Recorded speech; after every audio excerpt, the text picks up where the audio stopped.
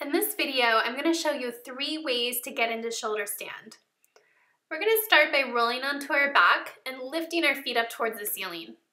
And this is the first modification for shoulder stand. Just keeping the legs up towards the ceiling, feet are active, gaze is towards the feet or just up towards the ceiling. Pressing the back of the body into the mat, pressing the back of the arms into the mat, keeping the bandhas engaged, the core engaged.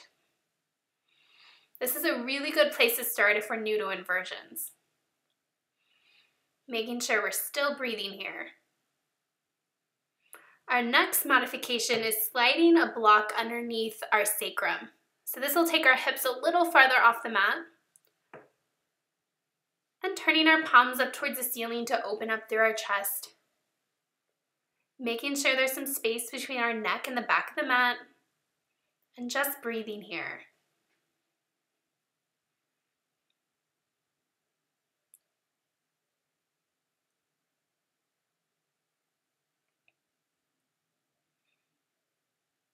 And when we're ready, releasing the legs back down to the mat, we'll slide the block underneath the sacrum. And here's full expression of shoulder stand. Starting by bringing our feet overhead, wiggling our shoulders close to each other, and placing our hands on our back. Then we're gonna lift our feet up towards the ceiling, trying to get our body in one straight line. Really important here just to look up towards the ceiling, definitely not side to side, that's a good way to hurt the neck keeping the legs active, keeping the feet engaged.